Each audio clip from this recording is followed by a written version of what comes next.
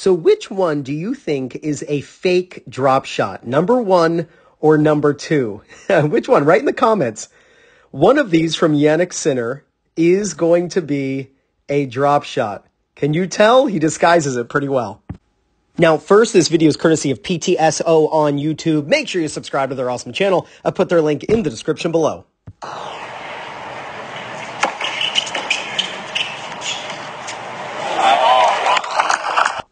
So we got Jannik versus obviously Felix Auger-Aliassime. And when you get a weak ball and you want to come in and make it look like you're absolutely going to crush it and then go for a drop shot, it is a great strategy to use.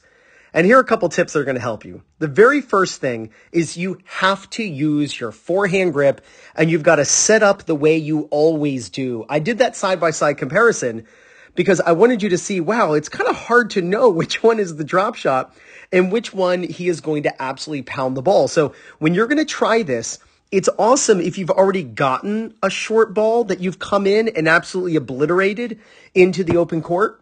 That way your opponent is already expecting that to happen anyway. But when we look at Jannik here, he sets up and right here he decides, you know what? Felix is uh, Felix is standing way behind the baseline. There's plenty of room to go for a drop shot on either side. So watch his grip he changes the grip. That's why it's so important that you have your non-hitting hand on the throat of the racket at this point, because that is the hand that allows you to change your grip. So he's got his topspin grip here, but he's going to switch over to his volley grip so he can put the backspin on the ball. If you're someone who only turns with your dominant hand on the racket, it's not so easy. You can still do it, but it's not so easy to change the grip. So practice turning with both hands on the racket so that it's easier for you to change to your volley grip that is going to allow you to open up the face. Now, let's look at the little motion that he uses for the drop shot. He doesn't just chop straight down as he hits, but he makes a little bit of a smiley. Watch his racket go slightly down and then slightly back up.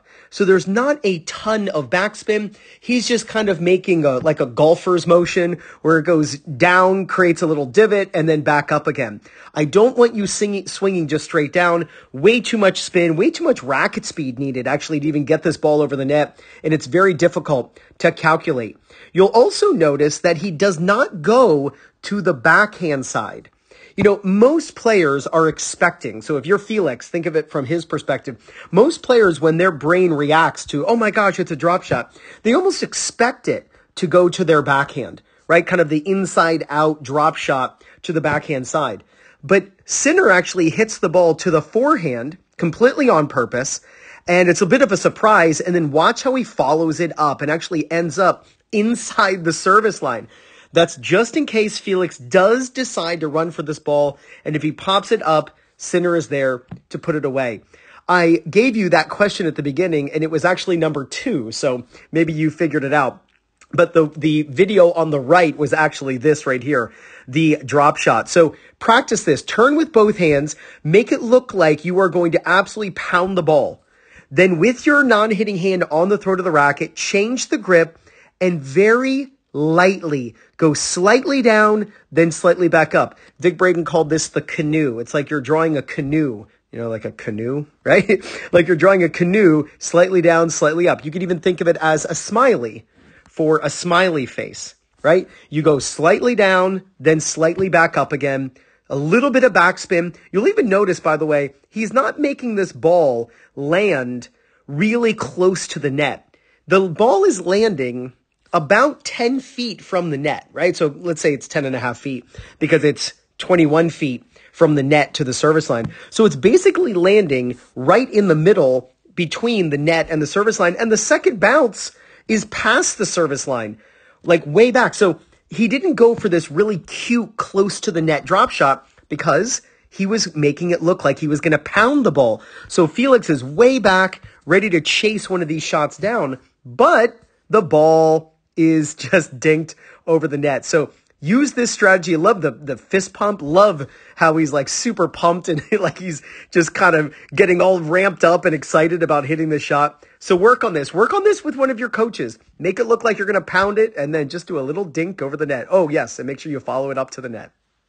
Now, if you'd love to use the same strategies the pros use to win their matches, then you got to pick up the singles playbook by Fuzzy Yellow Balls. It's all broken down by the type of opponent you play against. And it's over 50 pages, strategy after strategy. And what's really cool is each page comes with a QR code. So you can watch a video of exactly how to use each strategy. Just use my link in the description and pinned in the first comment.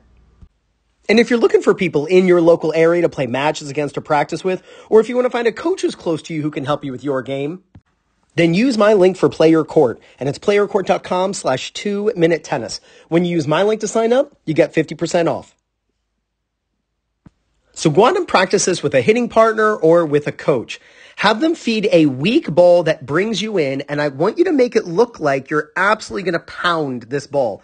Then with your non-hitting hand still on the throat of the racket, change your grip to your volley grip and just put a little backspin on the ball, go slightly down and then slightly back up again and follow it up to the net. You work on this fake drop shot, there's no doubt. You're going to gain confidence, win more matches, and play much better tennis. This is Ryan Reidy from 2minutetennis.net. You got this.